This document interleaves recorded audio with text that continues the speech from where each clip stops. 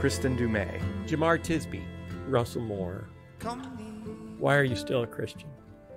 This is Phil. The last five or six years have been rough for many thoughtful, faithful Christians. The embrace of Trump and Trumpism, the rise of ethnic nationalism and xenophobia, conspiracy theories, and abuse scandals have rocked the church. Many have walked away in disgust. Some have spoken out and paid the price, and yet rather than walking away, have remained committed to Christ and His church. We wanted to sit down with a few of those who have cried out like voices in the wilderness, who've been attacked by the church they love and yet still remain. We wanted to ask a simple question Why are you still a Christian? Kristin Du Mez is a New York Times bestselling author and professor of history at Calvin University. Her book, Jesus and John Wayne, made headlines by examining how toxic masculinity and misogyny within white evangelicalism has affected American history and culture. The reaction to Du Mez' book within white evangelicalism was swift and ugly. Skye sat down with Kristin Du Mez to hear her story and find out why, through it all, she's still following Jesus.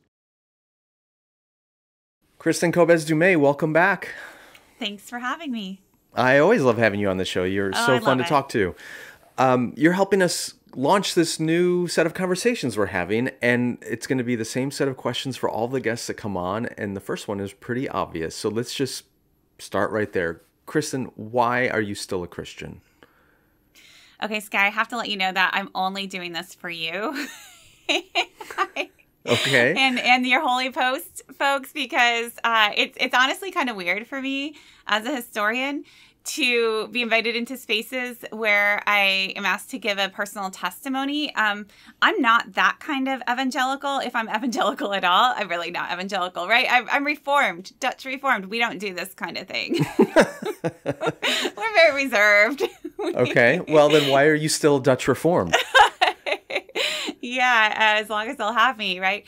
Um so so anyway yeah i don't i don't usually lead with my faith but when i write about christianity i'm, I'm asked to talk about it a lot and so here goes. Um why am i still a christian?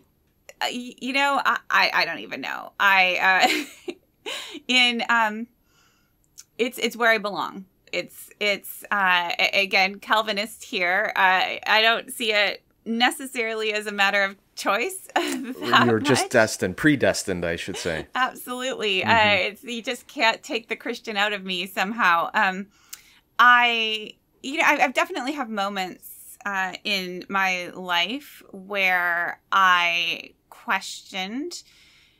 And it's actually, I haven't haven't talked about this at all before, but I was reading uh, Beth Moore's um, uh, memoir recently, All My Knotted Up Life, and there's one story there that was a little jarring. It was a story where she she kind of talks about she was at this summer camp, I think, and she was at the sink and she just had this like profound religious experience and she didn't really know what it was. And then she that really went on and, and put her life on that kind of trajectory. And um and there was nothing in her tradition that kind of set her up for for that and and she had to make sense of it. And I mean I had a similar experience uh in a dorm uh, in Texas when I was in graduate school. And I think at that time I had I had been studying, you know, women's history, gender studies, feminism, and uh, uh, and American evangelicalism and American Christianity more broadly. And and you know, I I just kept running up against Christians who were awful and people who were not Christians, people of no particular faith, who were much more decent people. and I mean, this this sounds very trite, but it was it wasn't even like articulated in my mind that much. But at, at some point, I was at this seminar around the study of gender and religion, and I just had this like crisis moment of just like what. How, how, how do you even make sense of this?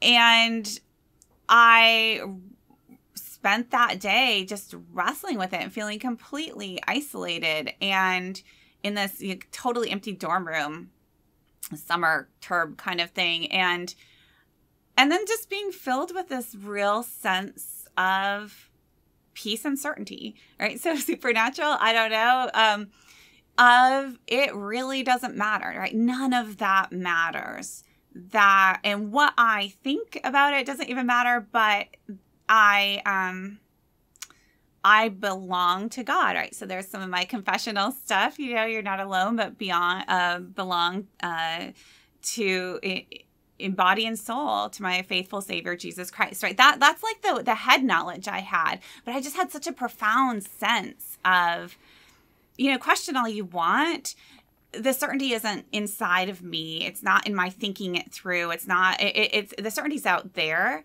and i'm held in that. And so it, it was a religious experience i guess. And it just let me not stress and just live in that faith and continue to explore that without depending, making my faith depend on the actions of people who are professing the same things that I was professing uh, not not to betray your Calvinist heritage, but it sounds awfully Methodist that you had this you know, moment where your heart was strangely warmed, right? Right, exactly, exactly. And, and I will say, you know, one thing that graduate school did, study in American religion, was it introduced me to all these other traditions right. where I had really been raised that, you know, Dutch Calvinism, this is the not just the best. It really is. It's the only way. And uh, and and, and you know everybody kind of whatever tradition you're raised in, I think you get a, a, dose of that. But we, you know, certainly had a bit of arrogance. Have a bit of arrogance around that. We're smarter. We're better uh, than other Christians.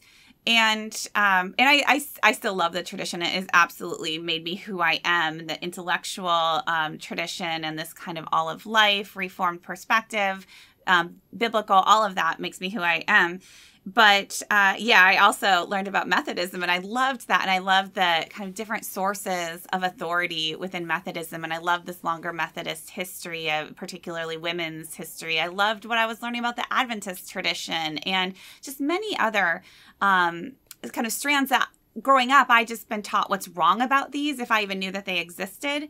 And then in graduate school, I, I, got to explore kind of on their own terms and see how much beauty there was and how much other traditions had to offer, and maybe point out some blind spots in my own. Uh, so going back to, to your story as a, as a grad student, um, I think a lot of people are going to resonate with what you shared. I do, certainly, where you spent essentially your professional life looking at church history, American church history. You've written Jesus and John Wayne. A lot of us have read it, and and it can be very dismaying to see the hypocrisy and the departure from the way of Jesus that has infiltrated so much of the people who claim his name. And yet you came to a place of putting all that aside and still somehow grounding your faith in Christ, not dismantling it just because of all the hypocrisy you saw all around you. Um, it sounds like that prepared you for the scholarship you are still doing, that you're able to look at these less savory parts of the church and it somehow doesn't destroy your own faith?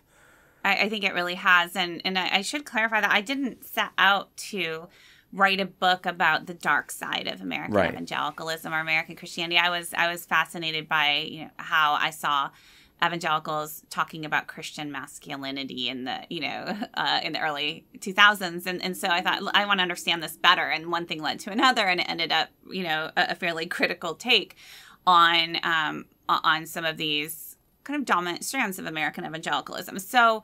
Um, inadvertently then yes this this understanding i think i think a couple of things really helped me not actually have any crisis of faith while writing that book one is I you know, always had this primary identity outside of mainstream evangelicalism, this Dutch Calvinism, which you know certainly we have our flaws and we have a theology to explain our flaws, but you know uh, that uh, so the the culture I was describing, the people I was writing about, almost none of them had been part of my religious upbringing and certainly were not kind of bedrock to my own faith commitment at all. So I didn't have that personal. Many of my readers really have to, and this is kind of the dis, uh, deconstruction narrative, have to separate out now their core faith from all of this. I, I just haven't had to do that in the same way. I could probably stand to do a bit more of that in my own tradition. Um, so I had that distance. And um, and then yeah, I I did have this sense of knowing that that I had this personal distance, but then also as a historian, right? You just know that there are so many iterations of you know Christianity in any moment and throughout world history. Some better, some much worse. Like there, there's a lot here. You just have to have an understanding that just the to profess Christ or to claim Christ's power does not equal, you know, following Christ. And again, I have a theology that explains this of sin, of depravity, of human pride. And of course, that is going to refl- uh, kind of kind of re- reflect be reflected in religious spaces too so sometimes you know reform folks are credited with this idea of an antithesis. You know the world is divided between good and evil and and you're either with god or you're against god. And but you can see that manifest in a variety of ways. In my corner of the tradition it was and that runs through all of us all of us right. including and even especially people who profess christ and religious power structures. So with that framework i just have never had this um, crisis in I just felt I had to tell the truth. And that's what I tried to do in my scholarship. And I think we have to start there. Then, how we process that, how we respond to that, we have to start with the truth. Yeah. Well, there's a reason why we did not title this series, Why Are You Still an Evangelical? We're calling it why yeah. are you still a christian because yeah there is a difference and having that little bit of distance from the stuff you are writing about probably helps. Yeah. um, but you're right your reformed tradition gives you the framework and tools and theologies for understanding why the label alone doesn't always bring with it the consistency. Uh, that which leads to our second question then. What do you find difficult about still being a christian today? I mean you were raised in this faith um, you've been through different eras. You're old enough. We're about the same age. You're old enough to have experienced this in different settings and places. What do you find particularly challenging about still being a Christian today? You know, honestly, sometimes it's exhausting to have to prove myself to other Christians that, that mm. I'm a mm. Christian, which is um, it, it's just not something that I um, I prioritize that much. It's something like, okay, I get dragged into these situations. And, you know, you can say what you want about me or make the claims and call me a wolf or a heretic or a false teacher, you know, all day long.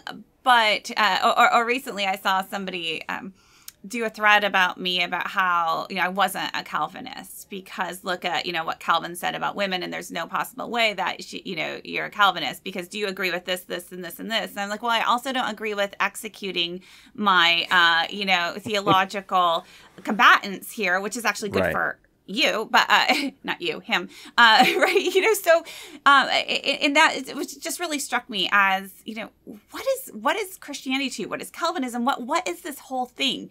Is it just checking off certain boxes, right? Ascribing to perfectly articulated statements of faith, and if that's the case, I'm just going to say ninety nine percent of American Christians are out I mean, if we really want to get serious, you know, let, let's look at theories of the atonement, if you will. Let's let's look at who is Jesus, right? We've got some survey data on that, even in evangelical spaces. A lot of people somehow miss the fact that, you know, Jesus is God. and so so I mean, but there there's just a whole lot of you, you, can keep getting finer and finer in terms of your um, doctrinal checklist and as you do, like nobody's going to qualify, but at a certain point, I mean, to get back to this, like you're not a Calvinist uh, line of attack, which to me is like, okay, I guess, you know, just, I guess I'm just a really bad Calvinist and I'm fine with that. But it, it it's not this checklist. It's not, do you ascribe to particular, um, carefully worded statements?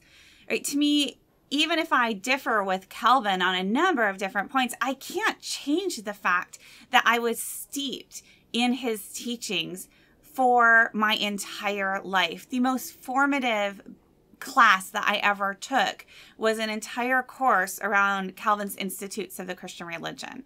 Right? I have the two volumes that like that to me as I as I read that I lived into it. I was like, "Yes, this. This is what I've always believed, but now I understand what I believe and that has just been so formative, right? The whole framework of a, way you approach faith, what faith is to me, all of that is uh, you know that's where i grew up into this faith. That's that's that's who i am. It's my identity whether i can check all of the boxes or not right? So it's just a different understanding of religion. And here too religious scholarship helps me because in religious studies there's all kinds of writing that shows how Protestants in particular, and then evangelicals especially, define faith very differently than most other religious folks do, including other Christians, now and through world history. Right? We like those little words, statements, checklists, affirmations. Is that is that because our traditions have typically come out of well, obviously Protestantism, but European Enlightenment modernism, which is very Yep, yep. European Enlightenment modernism. You can have also uh, then this particular individualism, and right. then really a kind of I think we could say Arminianism thrown in, and you know you can just kind of add it all in. But this kind of so it's individual rather than communal.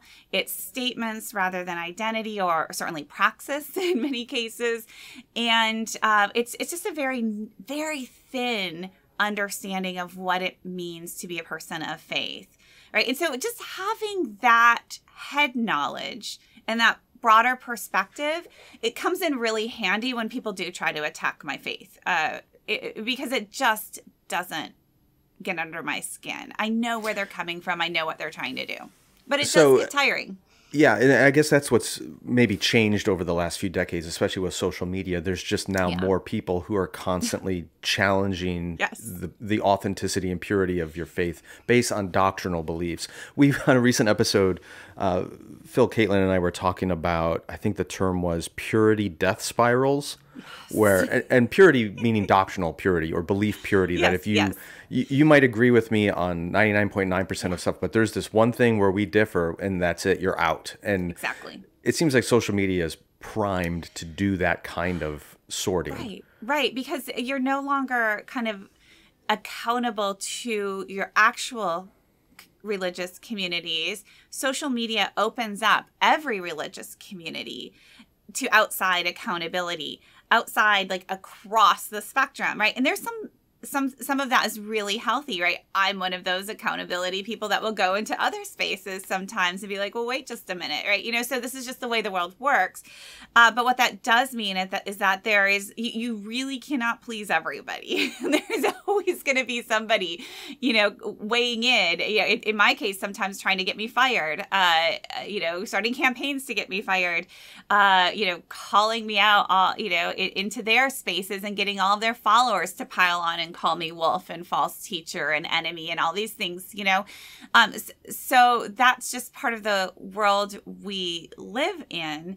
And so I think it's just important to know how this works and um and and to not let yourself be defined on their terms. I, I mean, I have watched you from a distance on social media interact or choose not to interact with some of those voices and from what I can tell I think you've you've managed yourself really honorably and and maturely in that.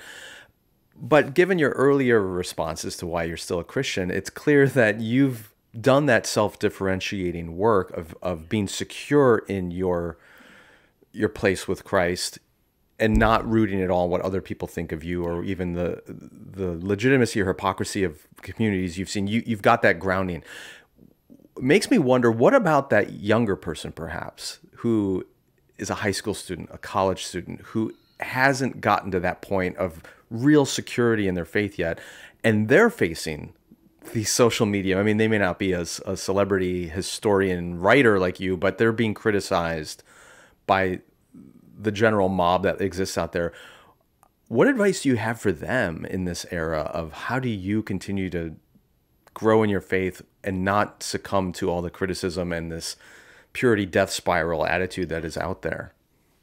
I mean, it's brutal. It is really brutal. Um, I think it depends on the person and the circumstances. And uh, for me, you know, in addition to kind of being grounded and and being older, so having some experience before I entered the social media space. You know, we had a life before. I remember when email was invented. You know, um, so I'm that old, which is really helpful in some ways. Um, and then also I have a hard time knowing which chords to plug in here. You know, sometimes too. But so pros and cons. But but for people who are kind of exploring their faith I hope you have a really thick skin if you're going to explore that um, online. And I, and I mean that seriously. I, it turns out I do have a very thick skin, right? In addition to being grounded, I also just temperamentally, like, I just don't really care all that much. It, it takes a lot to get under my skin. And really, the times where I do speak out are to, to correct the record. Like, call me what you will, but, you know, I'm a, a confessional Christian. I profess the Nicene Creed. I do all these things. I'm an active church member. So, you know, every once in a while, I'll just be like setting the record straight, you know, or, and I will call out dehumanizing language, whether it's theological or not. So wolf, that sort of thing, uh, because I I'm, I'm also you know a scholar of authoritarianism, and uh, frankly, um, I've I've done some work in genocide studies, and that is where I, I will call that out all the time, and I don't care if they're quoting a Bible verse at me or not. I'm just going to call that out. So those are that's when I will speak out really. For for those young folks um, or new Christians, you know maybe maybe don't explore online if it's if it's too rough.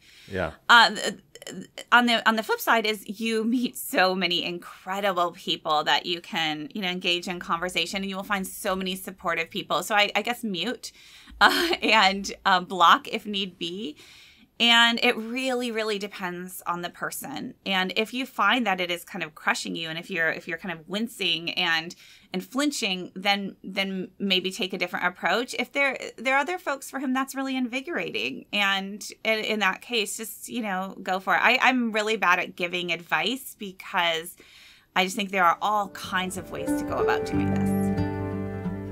This episode is being sponsored by ag1 by athletic greens some of you know that my dad is a doctor, and as I get older, he's always telling me to watch my weight and exercise regularly.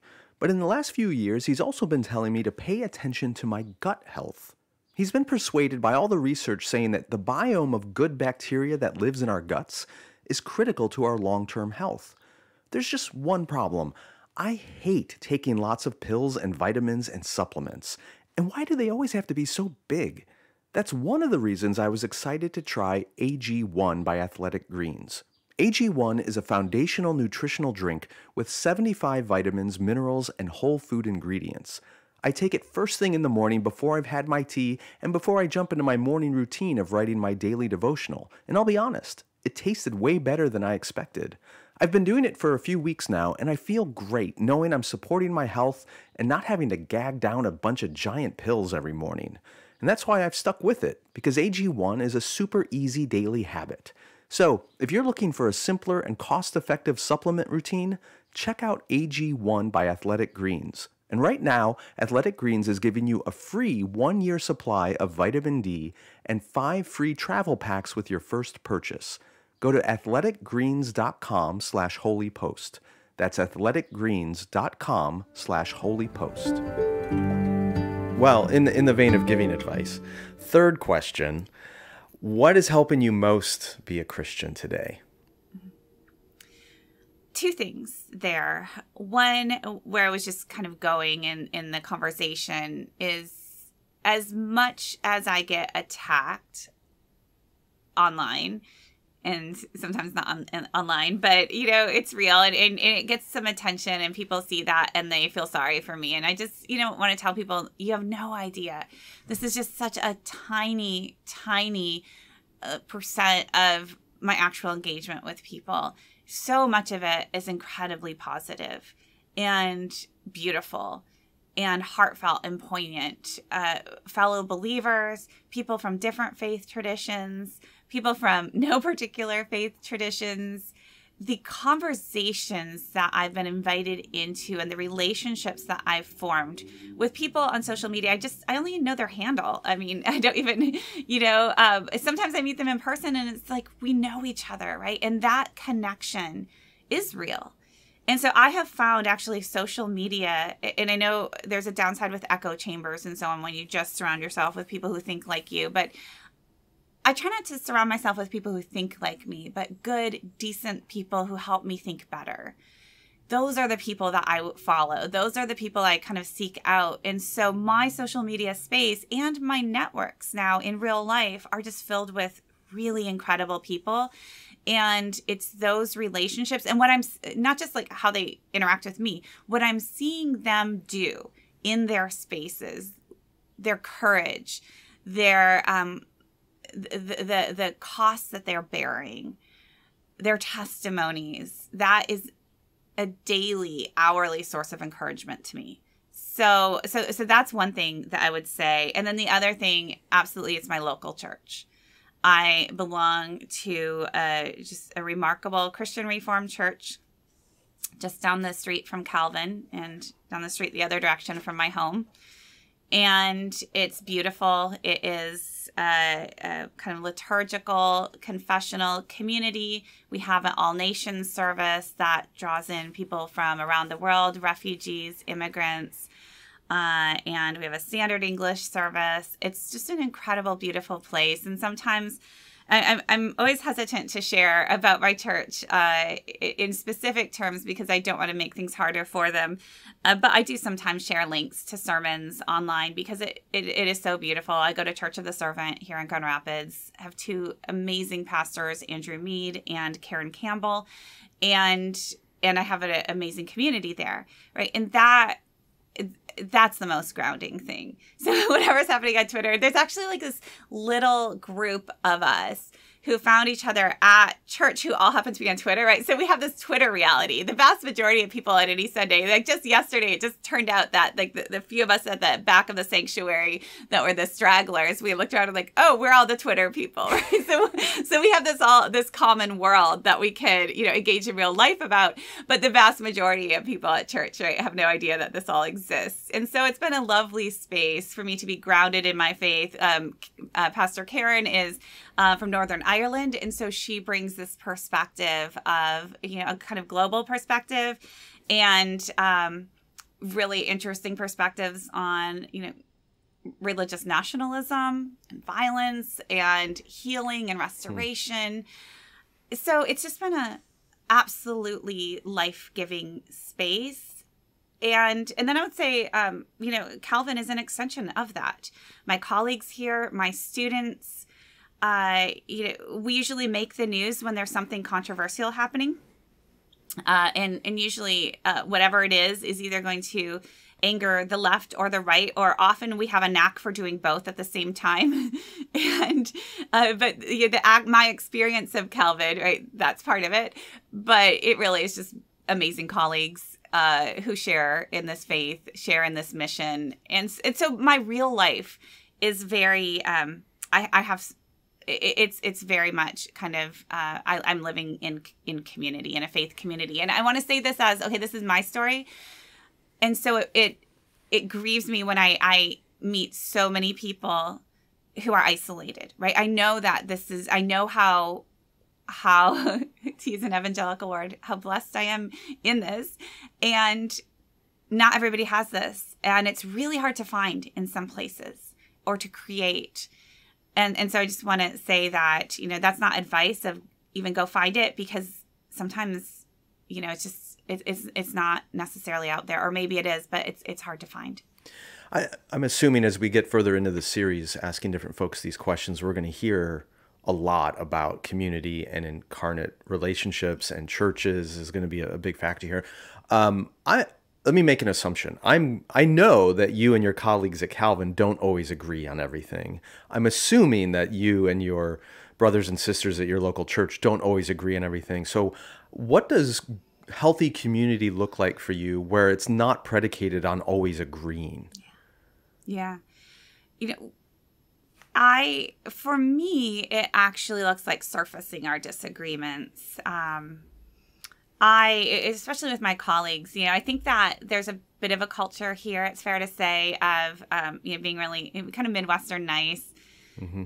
and, and not confronting some of these differences. I would rather know where my colleagues stand on certain things, have it out, explore, you know, just how, how deep that, that, that divide runs sometimes it doesn't run all that deep. Sometimes it does. But I would much rather just walk that path and have that conversation with mutual respect, with honesty, with integrity. And then on the other side of it, you're fine right? You're, you're not letting things fester or brew or you're not like suspecting that they don't think i belong here or that they actually think this or you know or they're off doing this. You just have the conversations. And you can do that much more easily when you've when you know each other and when you've right. been around. And then and then you can know like okay you know and, and i know they know me. So they might not like what i say about this particular thing but they also know that's just a small piece of who i am and what I contribute both to this community and more broadly. And so I think that there's just much more mutual respect. You know, it's this this what did you call it? This kind of purity death spiral, right? Where you're like narrower and narrower terms and oh, I found a thing that we disagree on, so you're dead to me, you know, and and you must be punished and held up as an example, right? That kind of thing, right? When you when you know people at this deeper level you know your focus is more you're reminded more of the the 99% or the 90% or the 72% that you do share in common. And then hopefully too right when you respect your colleagues sometimes they might be right. And sometimes they might have a point and it can help you see that you need to refine your thinking or maybe even change. And so it really helps to engage not with the kind of worst of the other side, not with the most extreme guys out there.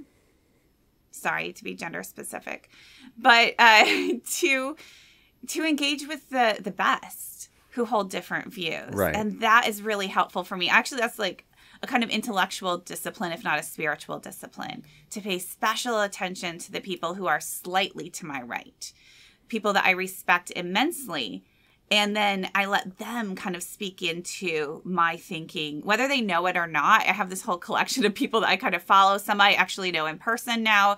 Um, you know, people who make me uncomfortable and who annoy me in good ways, right? Because if they're, yeah, there's yeah. the people who annoy me because they're just annoying, and we don't have to name names, but we're all thinking of the same people.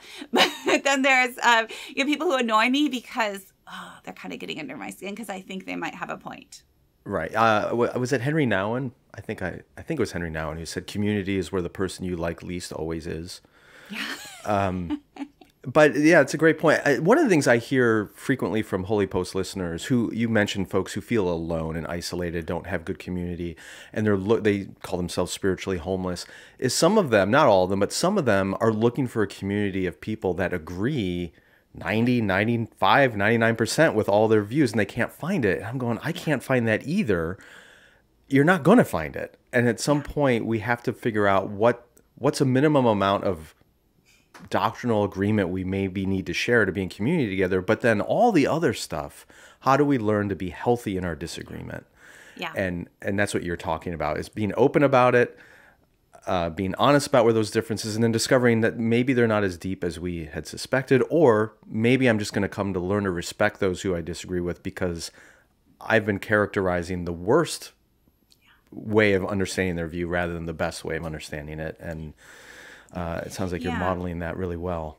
You know there, there are like issues that are points of you know conflict but then, then there are demeanors i think too. Right and and this is tough though because there's a lot of talk these days of you know kind of uh, uh, spiritual abuse or religious trauma and I want to respect that while also acknowledging I'm I'm so Gen X, you know. So like we we don't do self care, right. we don't do all this stuff, you know. We just you know tough it out. So I'm not the best person to speak into this, but in my in my own experience, you know, I joined a church when I came to Grand Rapids that uh, was essentially complementarian. Uh, no offices were open to women. And I joined that church because it was multiracial and bilingual.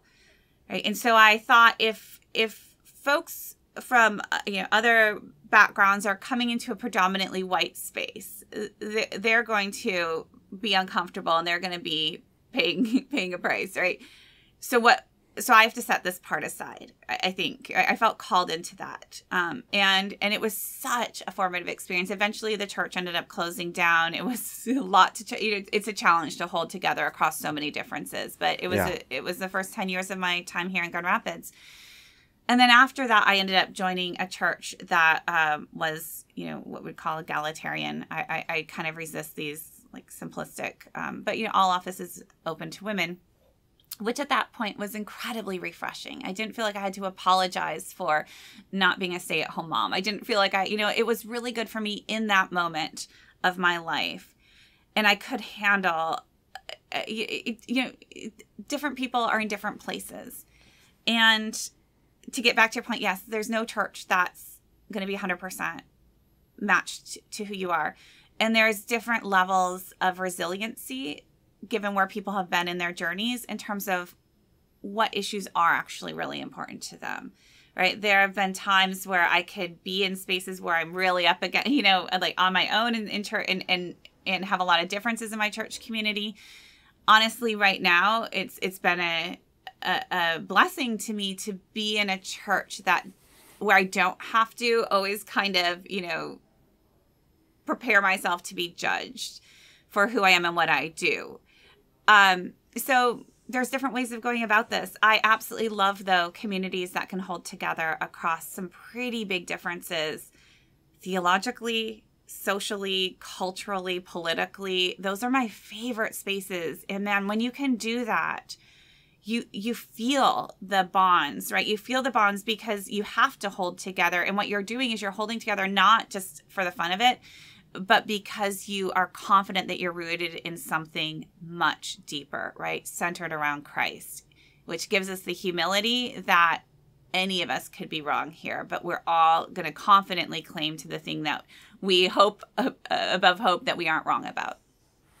Indeed. Well, Kristin, I've benefited greatly from your scholarship and your writing, and you've shared that broadly. You've gotten criticized for it at times, but I'm grateful that you were willing to open up more personally and share some of your own story and development as a Christian. And I'm grateful that you are still a Christian for sure, and grateful you're continuing to do really good work. And I'm excited to see what comes next. So thank you for being with us. Thank you so much. And yeah, I hope that this is helpful to your guests. The Holy Post podcast is a production of Holy Post Media. Production assistance by Mike Strelo. Editing by Area Code Audio. Help us create more thoughtful Christian media by subscribing to Holy Post Plus at holypost.com/plus. Also, be sure to leave a review on Apple Podcasts so more people can discover thoughtful Christian commentary plus ukulele and occasional butt news. Visit holypost.com for show notes, news stories, Holy Post merchandise, and much more.